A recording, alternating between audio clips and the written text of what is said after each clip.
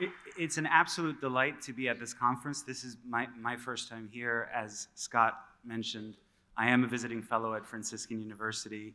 So it's, it's wonderful that those two paths, this conference and the work that I do at Franciscan, converge here. And I'm just very grateful to um, Scott and Kimberly for what they've built here and for allowing me to be a, a small part of it. So before I tell you my conversion story or, or share my witness, as it were, I want to put forward two caveats before you. The first is that my conversion is what's typically called an quote unquote intellectual conversion. And it's true that books and, and ideas um, played a significant role in my decision, quite to my own surprise at the time in some ways, in 2016 to join the Catholic Church. But the danger or the temptation of such conversion stories is that they can sometimes uh, resemble a kind of act of heroic reading and thinking. You know, the, the protagonist of the story reads this book, and then they read a different book, and then he reads this third book, and they kind of clash, but then some synergy emerges out of the two, and it's all his own sort of heroic labor that ultimately opens the path to, uh, to Rome or across the Tiber. And so, as I tell the story, you might hear some notes that sound like that. But what I'm asking you is to always remember that in all of these cases, it's, it's our Lord who is the primary actor, and the reading and the thinking and the ideas are responses to that invitation from above and not something that generates from below. And as you, you'll see that with some of the sort of accidental elements in my conversion story that couldn't have happened uh, but for what I believe were providential little nudges. And so just keep that in mind. The second thing is obviously, as you probably read my name in the bio or heard it from Scott, it's a, it's a foreign sounding name. And part of my story begins you know, across an ocean. Uh, and so there's a kind of exotic element to it uh, you know, there's this guy, his name is Sohrab. But what I want you to focus on is all the ways in which it's actually quite ordinary and mundane, not the things that are really, they're not the substance of the story, they're accidental elements of it. And so focus on the substance, and you'll see that it's not so exotic, and that therefore it can resonate with many people. Um, and that sort of touches also on this other fact, which is why am I standing before you? You know, it is perfectly legal. I don't think the church has dictated anything of the kind or issued any order that says that, you know, if you convert, you have to tell your story publicly.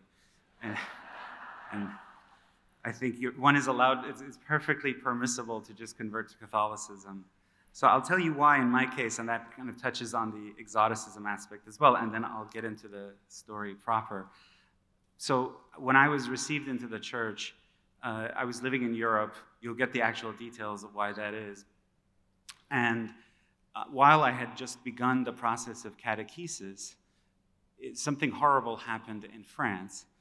A, a priest by the name of Father Jacques Hamel was murdered by a pair of jihadists uh, in uh, in Islam in, in, France, but a pair of jihadists who identified with the Islamic State, and they beheaded him, uh, but but not before he could uh, uh, yell out at his attackers, "Get away, Satan!" And he was doing this. This was done while he was celebrating the mass, and as I said, I was just beginning the process of catechesis, and.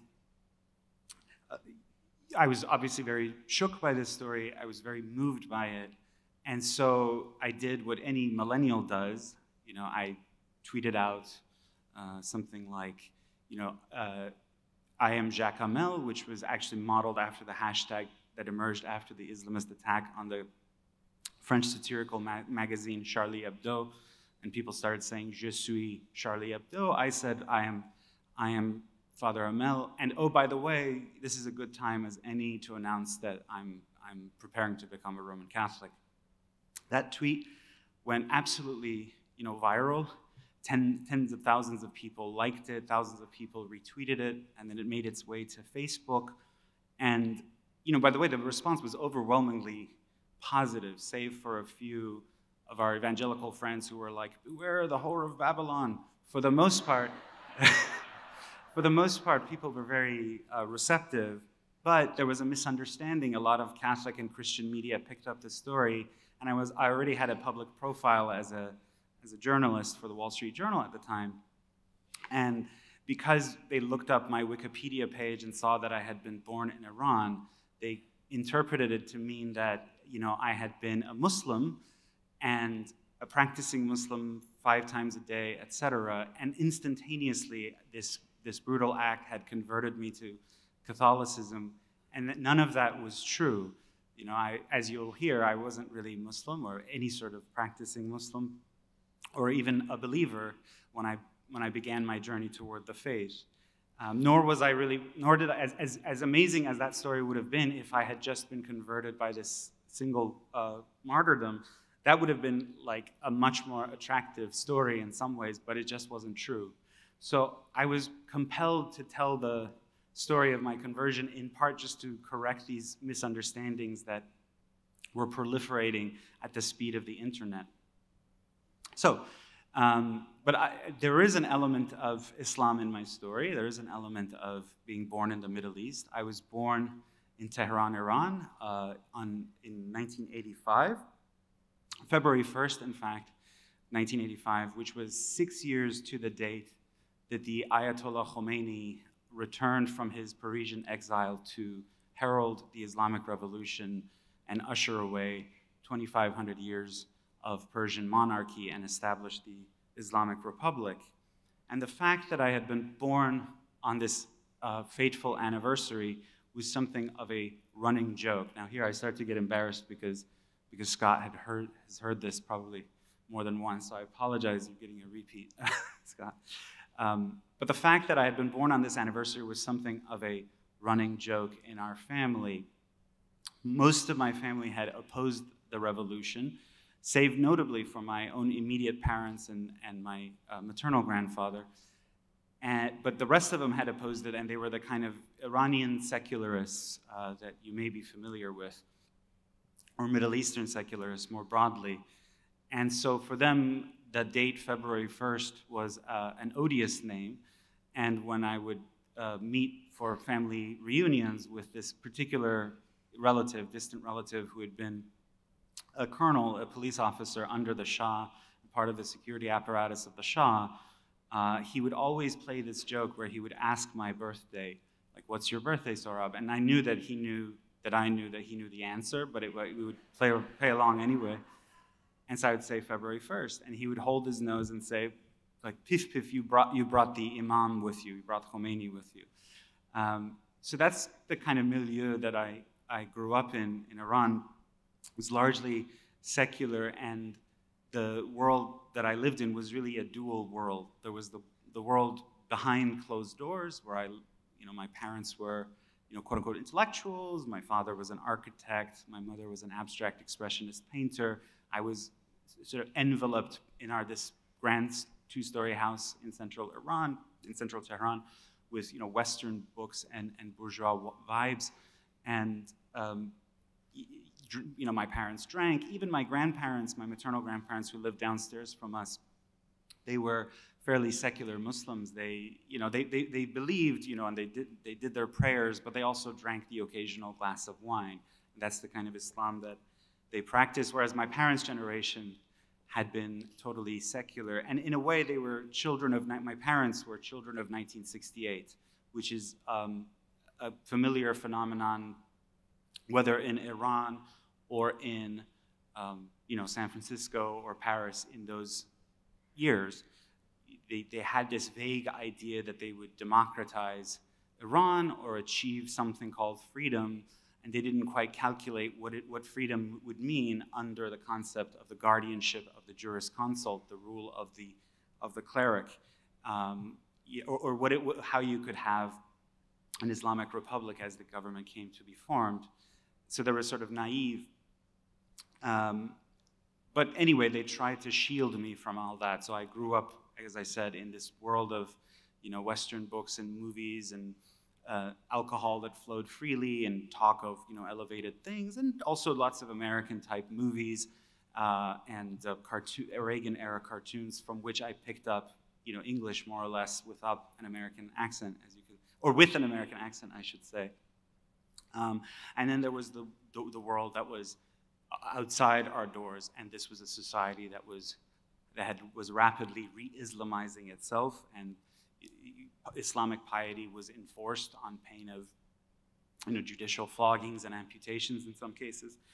And in that, I lived in the tension between those two worlds and the sort of hypocrisies that it generated. You know, you say certain things at home that you couldn't say at school, and I would constantly push the envelope at school, of course.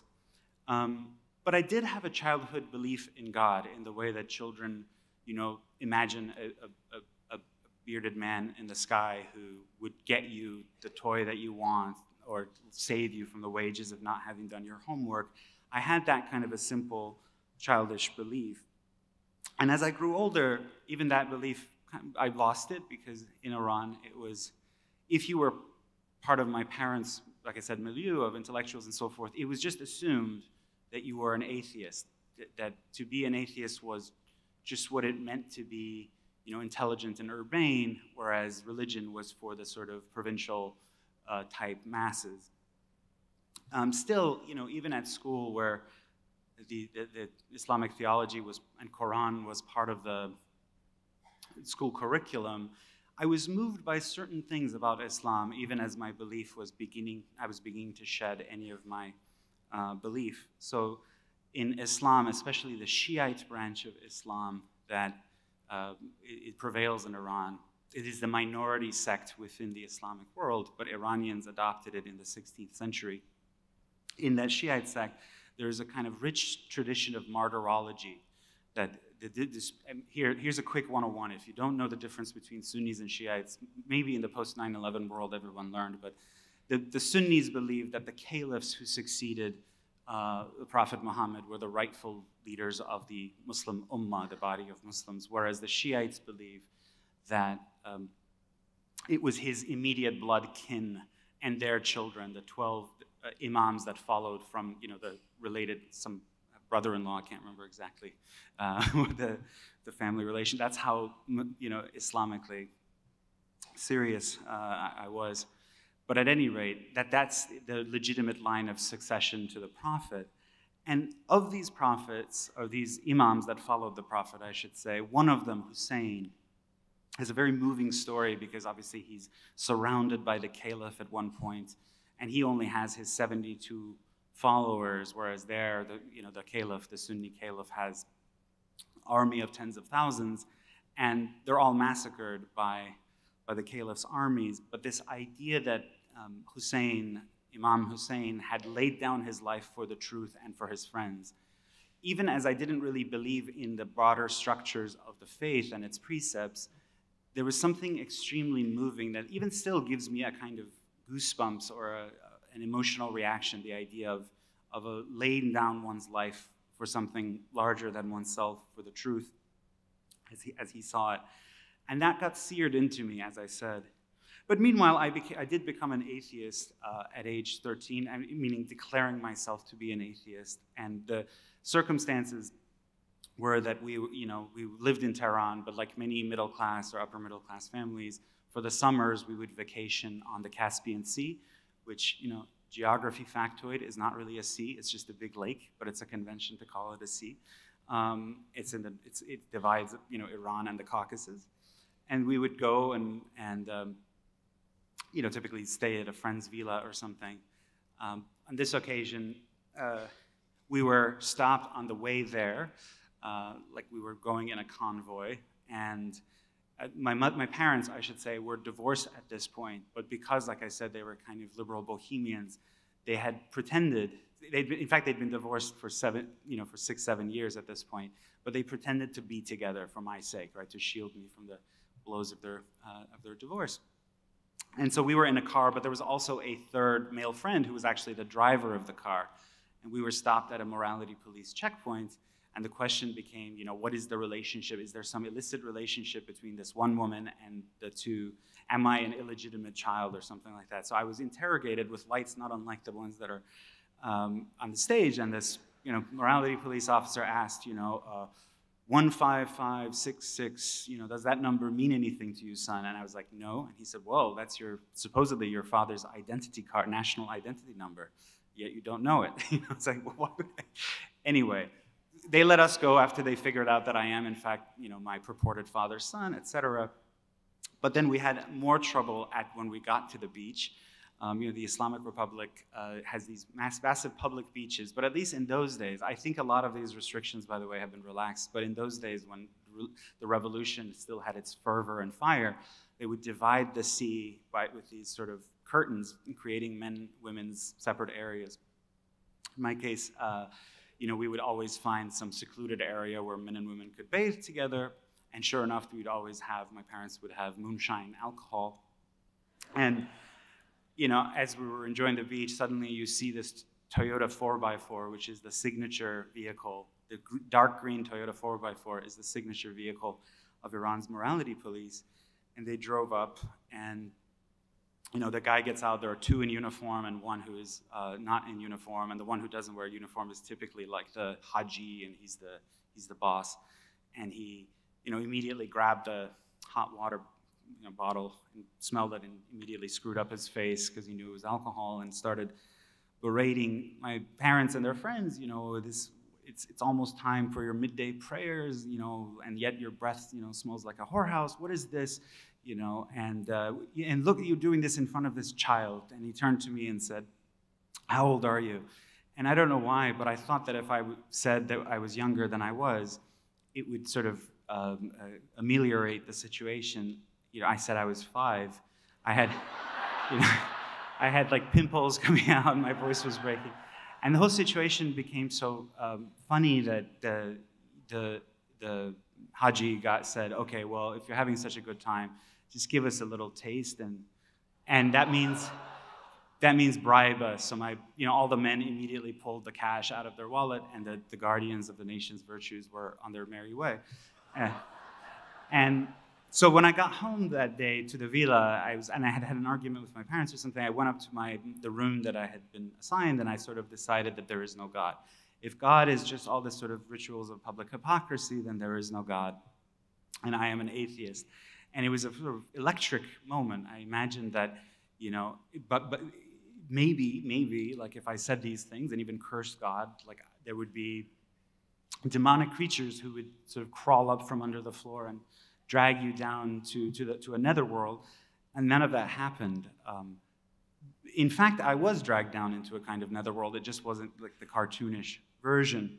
Meanwhile, I was very proud now, you know, like every 13 year old who hits upon the idea that there might not be a God in a religious society, I thought I was the only one who had thought of this revolutionary idea, so I would constantly, in every situation, try to inject my newfound atheism.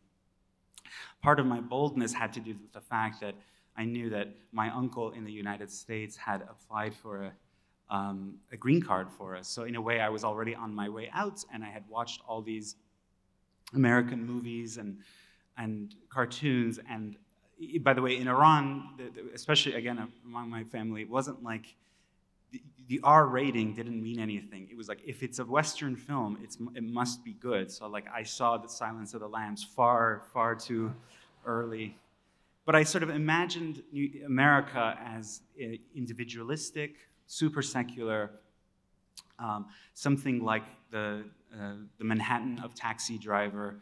And that's what I wanted. That's where I wanted to be. That's where I really belong, then we had this magical green card coming. And it eventually did. Like I said, my parents were divorced, so I only migrated to the US with uh, my mother. And again, I had my eyes set on, on decadent Manhattan. And so we boarded a KLM Royal Dutch Airlines flight, and it takes off. Okay, it makes a one, one leg and gets us to Amsterdam.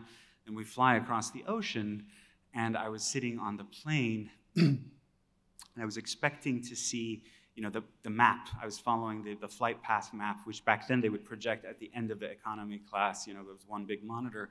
And the plane flew right over where I knew like New York was. And landed in a place called Minneapolis, St. Paul. I, I didn't stop, okay, but we didn't stop there. We then took another plane. This one landed in a place called Salt Lake City, Utah. Okay?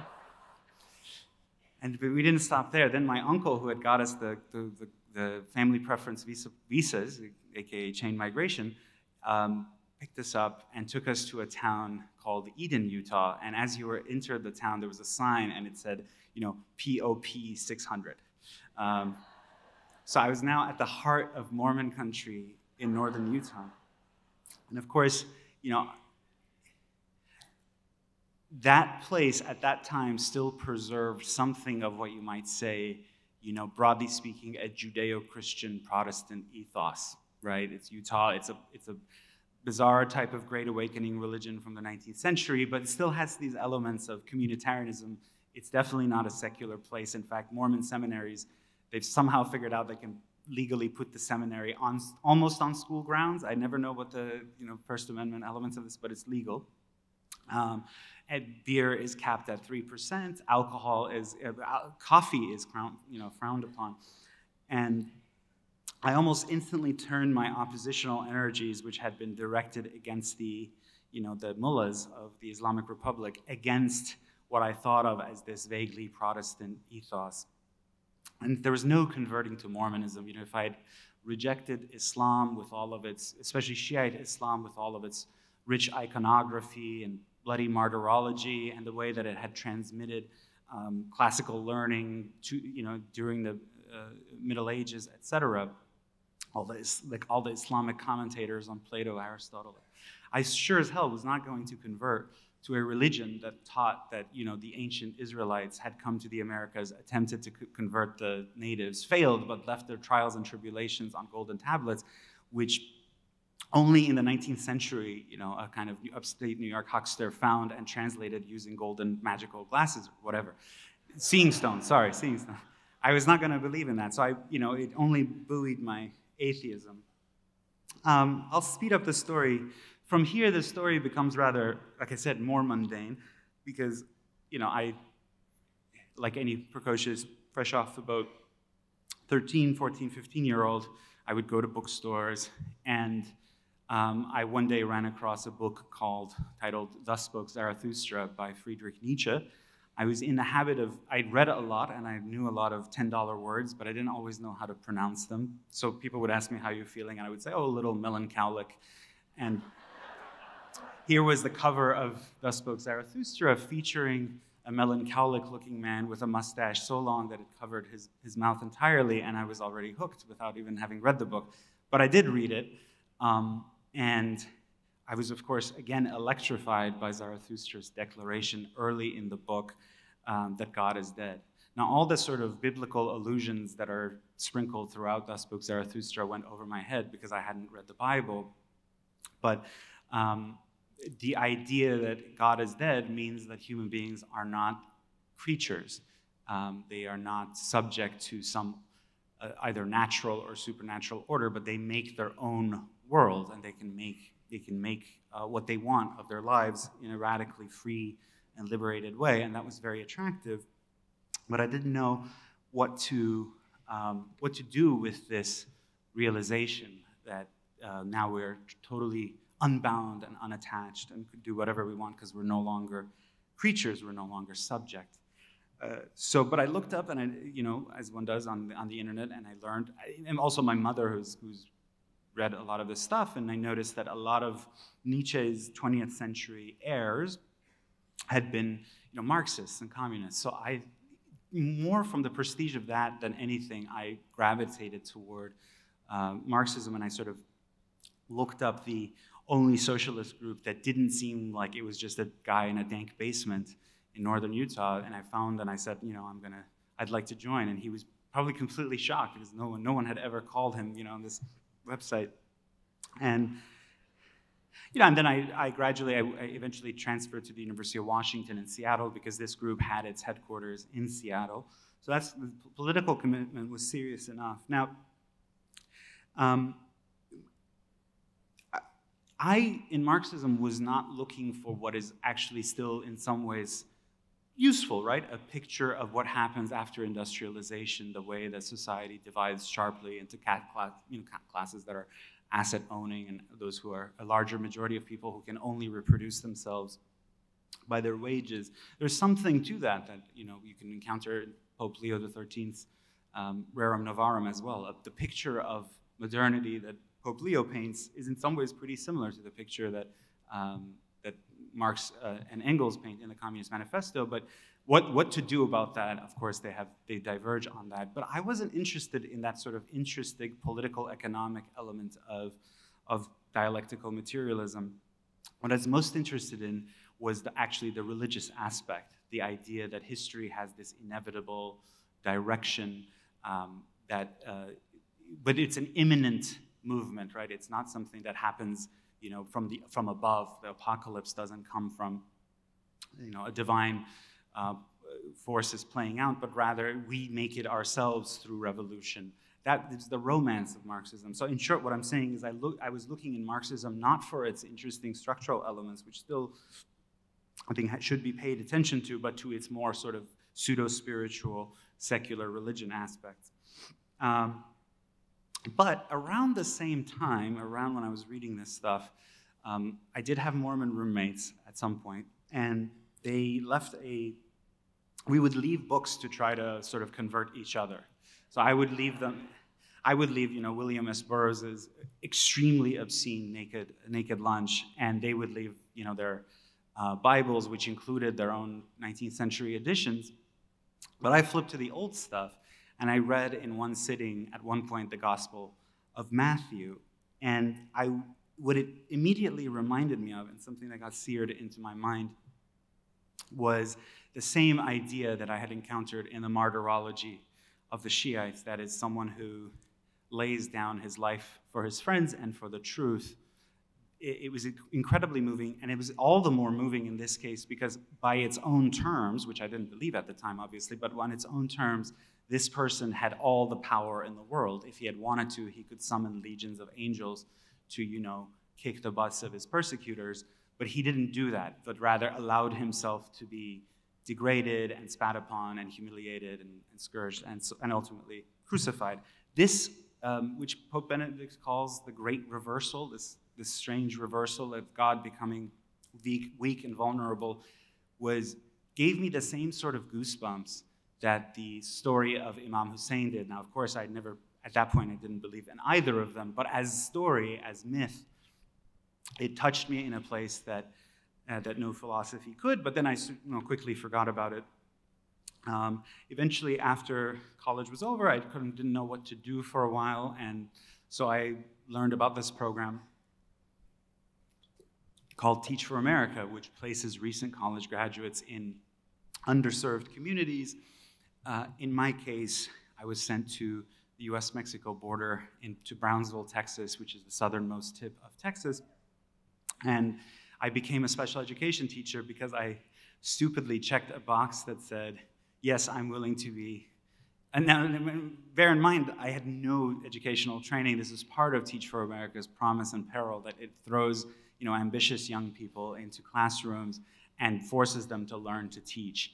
Um, so, like, I went from drinking late into the night and shooting the breeze about Hegel to being responsible for people's special education kids at 7 in the morning. And I was 20 years old, by the way. I was not even yet legal because I finished college in three years. So, not because I was a genius, just it was just the way the grades are structured in Iran versus the US meant I weirdly skipped a grade. Um, anyway, uh, but I, I, was not a very good teacher. I was, you know, nor a good professional at that point. And I quickly learned, though, that um, in, a, in an American public school, as a teacher, you can, you can get away with a lot if you just talk a big game in faculty meetings. By contrast, I had a friend who was a roommate. He was Israeli American. We both lived together and taught at the same school through Teach for America, and he was unbelievably conscientious. You know, he would wake up at four in the morning, lesson plan, show up at the school early to do early tutoring, greet each of his students with a firm handshake and a look in the eye, and set very high expectations. And um, actually, he started to get in trouble um, because he wouldn't just pass kids automatically. Um, he insisted that they actually learn and come for after school tutoring, etc. Um, but meanwhile, here I was, you know, if you just tell the principal in a meeting, just raise your hand and be like, well, yeah, we need to adopt more instructional technologies. Like the principal's like, that guy is a star. That's that kid, my goodness. Whereas my friend who was actually working really hard, you know, was coming under parental pressure because they want their kids to move on, et cetera. And, it, and he had had um, a letter of admission to Harvard Law School, and, but he had deferred for two years to do his Teach for America uh, placement. And um, so I would ask him, you know, like, you may get fired. Why, you know, why don't you just, like, how are you going to explain to Harvard Law School that you, you know, got fired from your Teach for America gig? Wouldn't that be terrible? But he would just say, no, I won't pass them because it's not the truth. And at the time, I sort of was like, wow, you're crazy. But over time, that insistence on, on truth, on, in this case, it's a banal truth of whether the kid has learned something or not, awakened me to my own conscience, right? I began to compare myself to my roommate and others and felt like I was eh, um, eh, not, not as effective as a professional and not ultimately um, as upright a person as I wanted to be. But then I had to ask, what is that voice inside you that says that there is something higher to reach for, that this um, persistent voice that points you to uh, to do good and to then punishes you internally, interiorly, when you fail to do that. Um, I began to see my own conscience, and as I became conscious of my own conscience, and this was a pretty um, uh, unsettling realization or unsettling encounter. Uh, it didn't immediately make me a believer, but eventually it would because I had to ask, what is it where, what is the source of this voice that makes you aware of some universal standard of, of right and wrong? Where does that, who placed that in us? I had not read C.S. Lewis's Mere Christianity at that point, but I was sort of stumbling toward his moral proof for the existence of God. The, if you've read uh, Mere Christianity at the beginning, he more or less makes that argument that I seem to have an envelope that tells me right and wrong and who gave me that envelope. And every other human being seems to have it too. And they'll say, hey, that's not fair. And both of them may disagree about what the substance of fairness is, but somehow both of them agree that fairness is something they should aspire to. Um, so I will speed up the story. So I, you know, I began to also, you know, read actual histories of the Soviet Union and, and you know, of the Chinese experiment with communism. And It sort of horrified me. I began to become something of a small c conservative, um, but that's a different story we didn't need, needn't get into. Um, but you know, eventually I found myself um, working in the, living in the Northeast, um, and I was working at a charter school that typically recruited Teach for America alumni. And I was also working for Teach for America, training their new, you know, recent uh, recruits. I was a sort of summer principal because I had eventually gotten fairly decent at teaching over, this, over those years. And um, it, that's slightly exaggerated. I was like not horrible.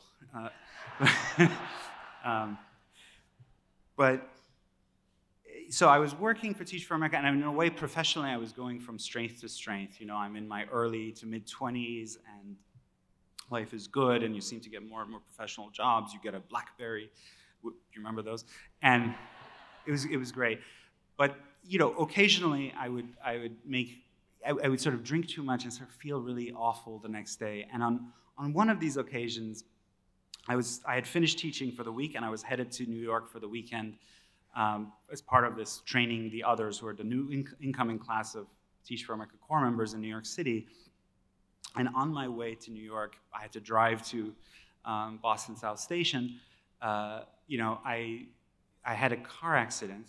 Um, I, it, I stopped at a, at a red light and then it turned green and I sort of moved forward. I rolled over my car, but um, I hit a car that was coming the other way. And it, it's probably the worst, I wouldn't wish it on my worst enemies, this moment, which hap seemingly happened in slow motion for me. I noticed that the car that I hit had these letters on the side, and it said P O L I C E. And I slammed into it. And so it turned out that he was in hot pursuit or something, and you know, you, are supposed to yield to emergency vehicles even if the light is green, but I was too. Anyway, that turned out to be okay, but the whole weekend was terrible. I was, you know, under my Teach for America bros were like, don't worry, we'll just, you know, drink, drink through this. We did. And on Sunday, when I was supposed to go back to, um, to Massachusetts, where, I, like I said, I was working at, that was my full-time job was in Massachusetts, I was sort of circling around, along a four-block around a four block radius around Penn Station.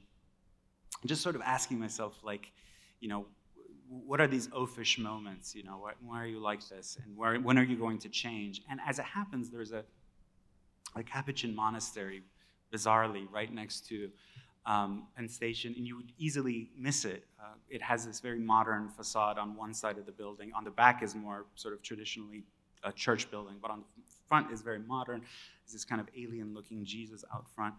And I walked in uh, randomly, and this is the most providential part of my story. I walked in uh, in this kind of despondent, hungover state just as uh, one Sunday afternoon Mass was about to begin.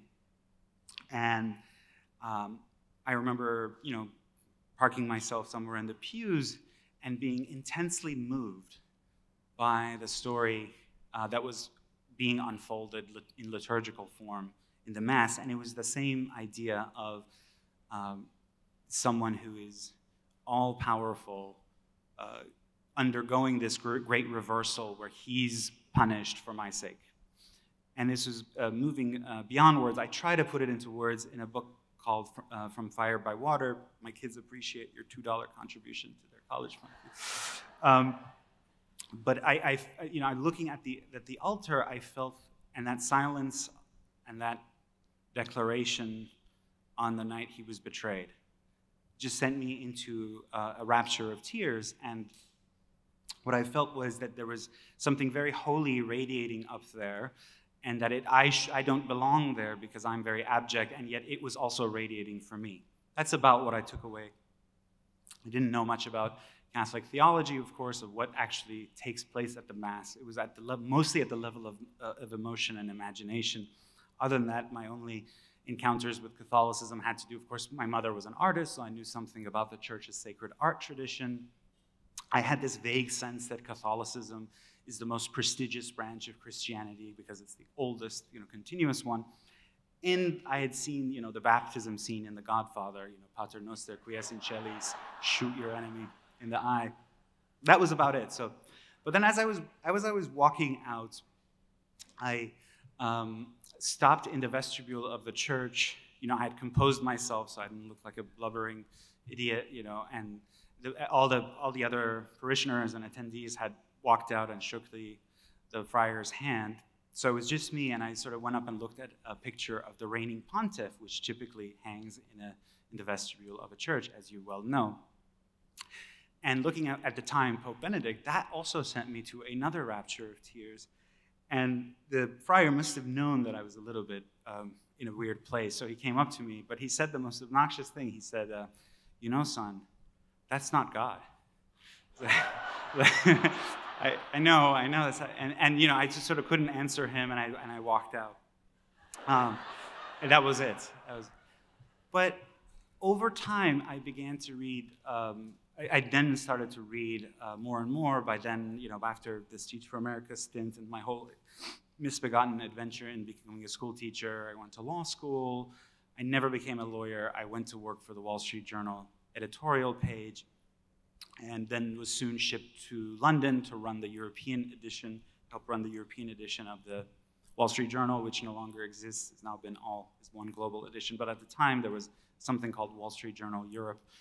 And, you know, again, like life is very good. I seem to be going from, from strength to strength. But now the questions that still gnaw at me are there. And I find them sometimes confronted to me by others, where people ask, you know, what do you believe uh, religiously? And often, including in the job interview for the journal, um, or among, in parties and so forth. And interiorly, I was be becoming just aware that I had that I'd been blessed with this gift of faith, um, but I was ashamed to own it because I thought that, remember, religion is for sort of provincial saps. And so I would say things like, you know, I, this stuff is very beautiful, you know, it's, it's, it's, it's been a civilizing influence on the world, hasn't it? Like Caravaggio is lovely. Um, but interiorly, I was starting to believe, uh, to my own shock.